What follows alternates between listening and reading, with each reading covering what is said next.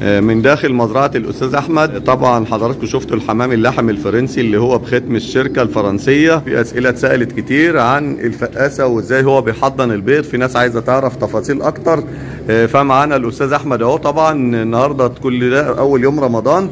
ومعانا الفقاسة هو هيكلمنا عن كل الأسئلة اللي جت في التعليقات. كل سنة وحضرتك طيب يا أستاذ أحمد؟ وحضرات المشاهدين كل سنة وحضراتكم طيبين. يعود علينا الأيام بخير إن شاء الله. طيب قول لهم يعملوا like قبل ما نبدأ الفيديو. يا جماعة like للفيديو ومشاركة إن شاء الله عشان الفيديو يوصل لأكثر عدد وأكثر ناس تستفاد. آه، والحمد لله الحمام اتباع يا أستاذ أحمد. آه. الحمد لله تم البيع. تم البيع. الحمد لله. الناس طبعا شافت هو الفيديو. الحمام موجود لسه الراجل إن شاء الله هيجي يستلم يوم الاثنين إن شاء الله. آه يعني عشان برضو الناس لو حد عايز برضو يبقى الناس عارفة يعني. إن شاء الله الحمام اتباع وفي آه، ميعاد الاستلام يوم الاثنين. إذا جد جديد نبقى نعرفكم إن شاء الله. إن شاء الله فيديو جديد بإذن الله دي لسه حاجة حصرية إن شاء الله لأي مبتدئ بس طبعا يكون قريب مننا يعني إحنا من دمياط يكون قريب مننا. هيبقى طبعا موجود فيه بيض وفيه زغاليل لسه طبعا لبه أو حاجة زي كده اللي عنده حضان. ويقدر يحضن البيض ده أو يحضن الزغاليل دي يشرفنا وياخد اللي هو عايزه إن شاء الله بإذن الله. طبعا هي الموجود فيها وحتى كمان اهو لسه في زغاليل طالعة أهي. أهو. آه يا جماعة الزغلول طالع من لسه, اهو. لسه هدور على أهالي احضنه تحتهم. آه طبعا هو الأستاذ أحمد بيحطه بالقشرة علشان ي... والبيضة الثانية اهي لسه بتنور اهي أنا نزلتها بس من فوق عشان الزغلول بيقع من. المكان ده كله. طبعا. إيه عايزين حضرتك تكلمنا من وقت ما بتحط البيض في الفقاسة لحد موعد الفأس من أول يوم أنا بجيب البيض بحطه في الفقاسة. بيقعد زيه زي البيض اللي تحت الحمام. 17 يوم 18 يوم 19 يوم على حسب ما ربنا بيكرم وبيفرز. مم. بعمل إيه؟ بقوم واخد الزغلولين يعني ده مثلا الزغلول اللي طلع ده هقوم واخده مدور على أي جوز بيضه مغامق أنا طبعا ما بكتبش في ناس بتسجل آه، آه. البيض البيض يوم إيه؟ حقيقي أنا بقوم جايب البيض طالما البيض اتمق عدى ال 10 أيام أو من تمام. 10 أيام وطالع تمام. قدامه بقى يوم يفقس قدامه يومين قدامه ثلاثة مش هتفرق ما بتشغلش بالك بالموضوع قوم ده جايب البيض وحطه في الفقاسة وأقوم جايب الزغلولين أو الثلاث زغاليل كمان أنا بحط ثلاثة أو الثلاث زغاليل بالقشر بتاعهم واقوم حاطه تحت الجوز عشان أضحك عليهم إن الحمام تحتكم فقس والقشر بتاعه فبياخدوا القشر بيرموه أو بيأزأزوه ويشوفوا الزغاليل تتحرك تحتهم يبدأ إيه؟ يلبي. آه على أساس إن هم يتوهموا من بيضهم هو اللي فقس مش هو ما يحسوش إن أنت بدلت المرة اللي فاتت شرط إن الحمام يكون حنين وطبعا الحمام اللحم معروف إن الحمام حنين. طبعا. الشرط الثاني كمان البيض يكون عدى عليه ال 10 أيام أو 8 أيام لأن الحمام بيبدأ تلبين بعد ما يبيض ب 8 أيام. يبدأ يلبن يعمل يكون اللب- اللبه بتاعه بيب- بيبدأ يتكون في الحصالة عنده من من عمر البيض 8 أيام من عمر البيض. يبدأ يلبن. فأنت لما هتحط له زغاليل هتتحرك تحته هيحفز التلبين أكتر. هيبدأ يلبن الحمام. أنا لسه هجربها الحكاية المره دي. اللي فاتت الحاج مصطفى التوك ده موجود معايا أيوة، وأنا لسه أيوة، حاطط. الزغاليل. يوم ما تحت واخد البيض أهو. نروح نشوف الزغاليل فعلا أنا نفس صورت. المكان اهو لما انت مصور لما شديت القفص كده؟ أيوه دي الزغاليل فعلا أنا صورتها دول يومها. دول أنا حاططهم بسم من. الفقاسة وواخد البيض من تحت الأهالي. اهو ما شاء آه، الله. كان يوم ما صورنا كانوا لسه فاقسين أنا قلت يوم يوم اتنين آه، حضرتك قلت لي من أول امبارح. آه. يعني ده عمر الوقت كده أسبوع مثلا. ده. مثلا أسبوع. آه، عرفت إن حضرتك بتحط البيض آه، في أوقات مختلفة.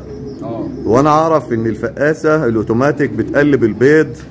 وإن المفروض كل الناس عارفة كده إن أول ثلاث أيام دي المعلومة اللي هي شائعة عند الناس. إن أول ثلاث أيام البيض ما بيتقلبش وآخر ثلاث أيام البيض ما بيتقلبش. انت بتحط البيض؟ في أوقات مختلفة يبقى كده البيض انت بتقلب كله في أيوة. أوقات مختلفة. إحنا هنتكلم بالبلد خالص. أنت عندك جوز حمام باض تمام. أول يوم في حمامة بتنام على أول بيضة وفي حمامة بتنامش. صح؟ تمام. إحنا هنفرض ان الحمامة نامتش برضه البيضة الثانية بتعمل إيه؟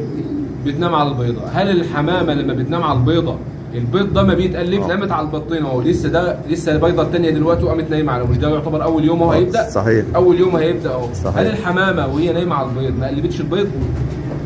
آه، مش عارف والله آه، مش عارف. نايمة كده أهي تمام؟ آه. وهي بتلف كده الناحية الثانية شوية كل شوية بتلف آه. وبتقوم والذكر بيرقد. صحيح. قامت تاكل ودخل دخل التاني مش هتجيب البيض بمنقار هتجيبه تحتها؟ مظبوط. ده تقلب ولا ما تقلبش؟ مظبوط. آه طب المعلومه دي جات لهم منين؟ ما أعرفش. هي هي موجودة كده لو بحثت على النت هتلاقيها منتشرة. إحنا بنقولها ببساطة خالص أهو. إحنا بنصحح لكم وبنقول لكم تجربة شخصية للأستاذ أحمد. إحنا مش بنقول الكلام اللي هو في الكتب. إحنا بنقول التجربة العلمية. هو بالعقل وبالمنطق آه. أهو الحمامة نامت على البيض وهي بتقوم وبترجع تمام. والذكر بيقوم وبيرجع. البيض ما بيقلبوش بيقلبوا.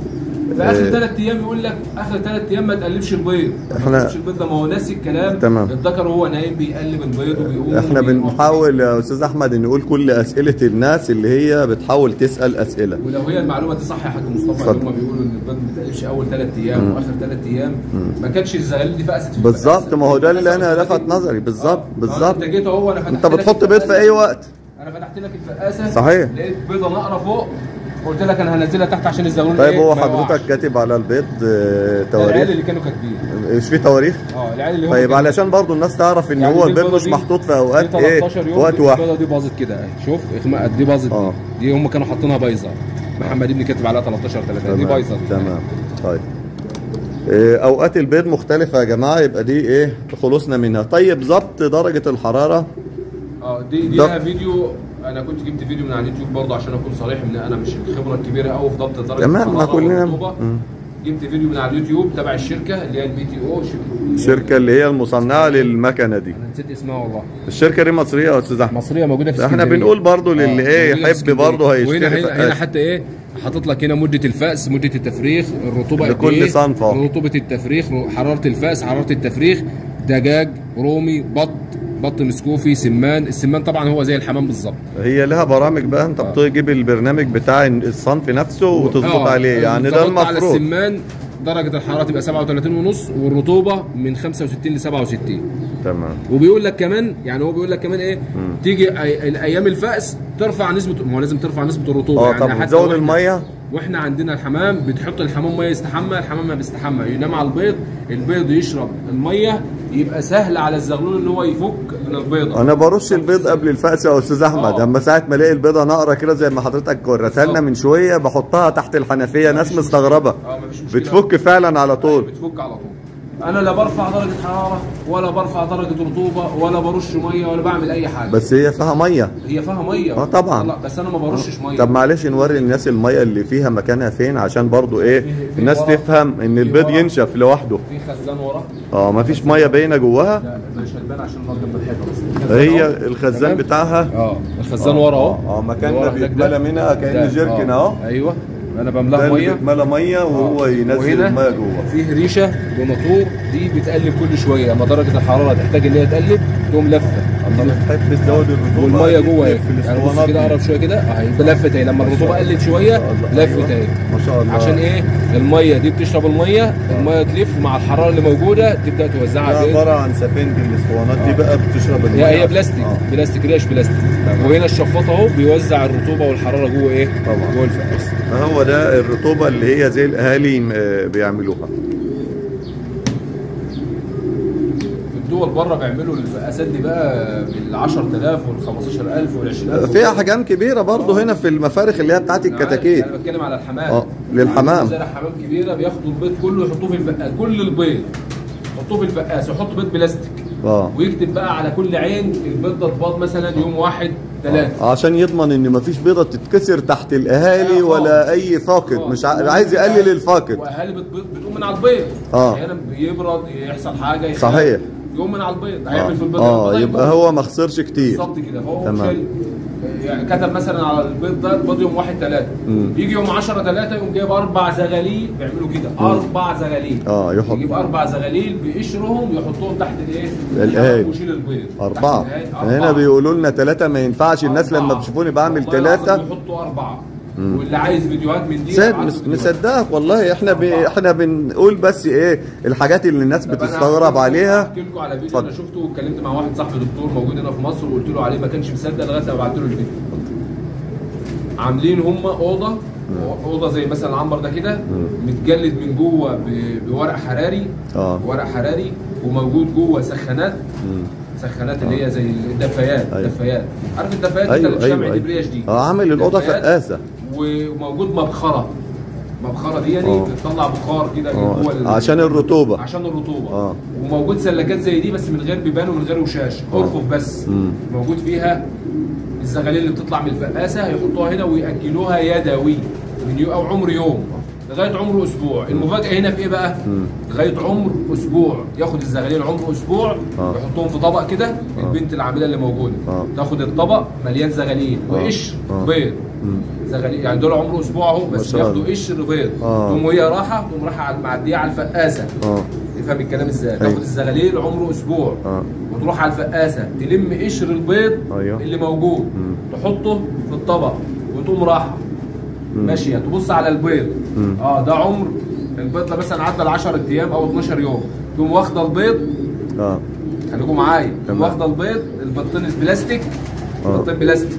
وتقوم حاطة أربع زغاليل عمره أسبوع. أربع زغاليل يا جماعة أربع زغاليل عمره أسبوع. وكمان عمره أسبوع. والله العظيم كده. أربع زغاليل. عمره أسبوع تقوم حطاهم تحت. عارف كده معنى كده يا أستاذ أحمد إيه؟ عارف العملة ديت اللي أنا فهمته دلوقتي إن هو الأهالي هتاكلوهم تلبين من جديد.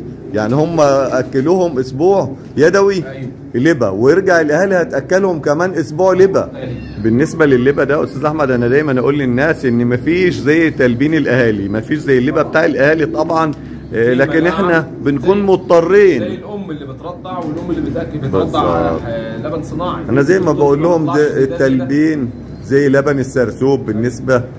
لأي حاجة آه طبعا اللي هو اللي في بداية بترضع الرضاعة. طبيعي الطفل بيطلع مناعته قوية. الام. اللي بترضع صناعي الطفل ما بيطلعش مناعته قوية. بيطلع ضعيف. أستاذ إسلام البحيري بيقول له تعليق بيقول طبعا بعد ما شاف الفيديو اللي هو قلنا اتكلمنا فيه عن الفقاسة وطريقة تحضير الأستاذ أحمد لها لأن الأستاذ أحمد قال إن هو بينقل الزغاليل لأهالي بيضين من 10 ل 12 يوم. والأستاذ اللي هو إسلام إبراهيم ده بيقول إن هو اللبا عنده بيتأخر بعد الفأس كمان 3 أيام. آه، بتواجهوا المشكلة دي طبعا لأن طبعا الأهالي فقست آه، البيض بتاعها فقس بعد 18 يوم وثلاثه يبقى 21 يوم.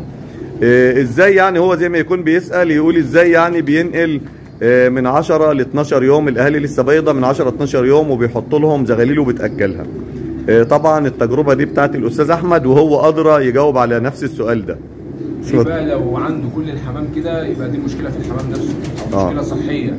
دي مشكلة في الحمام آه. نفسه. لكن لو قص لو قص واحد هو اللي بيعمل كده آه. أنصحه إن هو يخلف القص ده يجيب ذكر شغال يديه للنتاية ويجيب نتاية شغالة يديها للذكر هتديه الخبرة وهيتعلم منه. آه، ولا هو بيسأل برضه ولا ده قلة خبرة؟ ما إيه اللي ممكن يكون قلة قلة خبرة في لو خلف- الحمام نفسه؟ لو خلف القص لو آه. خلف القص مع شغال هيتعلم منه. يعني نقول له اخلف القص ده الذكر لنتاية الثانية والنتاية لذكر تاني. بالظبط. إيه، طب لها علاج الحكاية دي هو بيسأل يعني الموضوع ده فيه علاجات أنا كنت سمعت آه، الباشمهندس اسامه حسين بيقول إن في حاجات بتدر آه، التلبين ده زي ما في حاجات بتدر اللبن هو التلبين من عمر 8 أيام البيضة آه. الحمامة نفسها بتبدأ تفرز آه. اللبن من 8 أيام اللبن الحويصلي بيبدأ يفرز داخل آه. الحويصله من عمر 8 من أيام. من تمن يبدأ أيام. ينتج تمام. هو الوقت وصل لعمر 21 يوم وما طلعش اللبن طب آه. فين ده بقى؟